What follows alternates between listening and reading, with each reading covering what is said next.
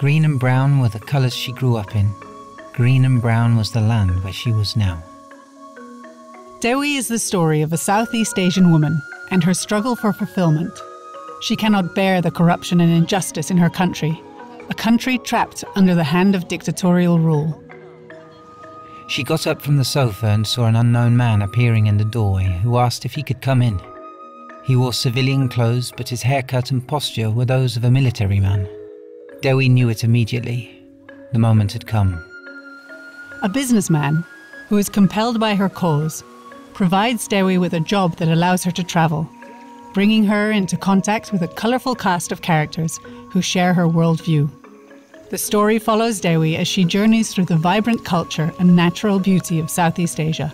The sun rose, confidently acknowledging the people's awe at the daily show he provided, illuminating Bagan's monuments. One by one, he set them aglow.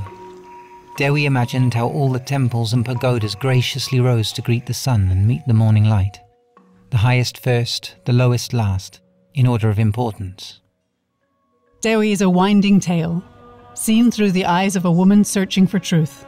A truth understood through the stories of the people she encounters, from her days as a child to those as the woman she is now. Grandpa, why is there no fruit that has a blue colour? Blue fruit.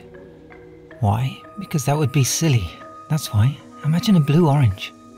The girls giggled. Or a blue coconut. The girls giggled.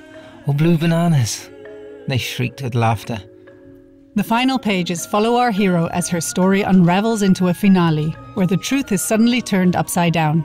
But what is the truth? She closed her eyes and wrapped herself in a blanket of memories and fantasies, of things that were and might have been. Dewi. Order now on Amazon.com or through gopher.nl.